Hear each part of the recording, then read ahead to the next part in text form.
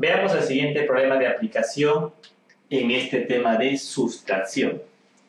Me indica lo siguiente, la suma de los términos de una sustracción es 700. Allá sustrayendo si es la quinta parte del minuendo. Bien, cabe aquí recordar una propiedad muy interesante, porque aquí me indica la suma de términos de una sustracción. Bien, justo la suma de términos de una sustracción es una propiedad. Bien, y esa propiedad es bien sencilla de demostrar. A ver, sabemos lo siguiente, ¿no? Que minuendo menos sustrayendo es igual a la diferencia. Eso es por teoría, ¿de acuerdo? Muy bien. Entonces, ¿a qué será igual el minuendo?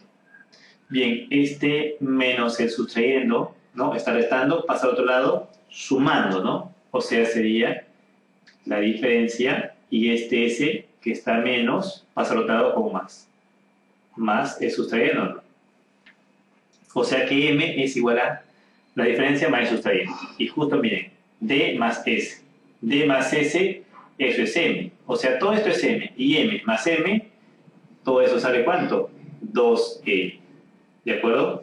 Muy bien. Entonces, la suma de términos de una sustracción siempre es el doble del minuendo. Así de simple es esto. Muy bien. En el problema, me indican que la suma de los términos de una sustracción es 700. Ahí están los términos de una sustracción, minuendo más sustrayendo más la diferencia, esa suma de términos me indica que es 700. Pero sabemos por propiedad que todo esto cuánto es, la suma de términos dos veces el minuendo, ¿no? Así de sencillo es esto.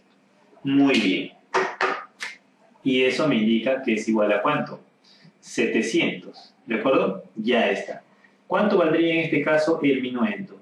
Bien, el 2 pasando a dividir sería, ¿no? 350. Claro que sí.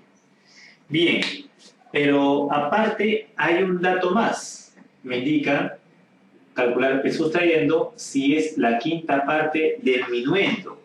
Entonces, pero, pero, pero, el sustrayendo, el sustrayendo me indica, el sustrayendo me digan que es igual a la quinta parte. O sea, un quinto de quién? La quinta parte del minuendo. La quinta parte del minuendo, o sea, de m, ¿no?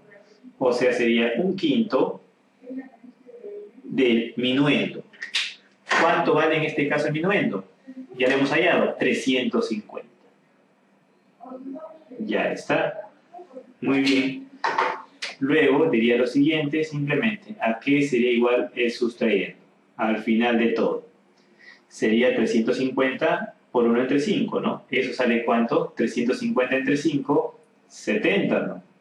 Claro que sí. 70 es la respuesta a nuestro problemita. Alternativa. Benito.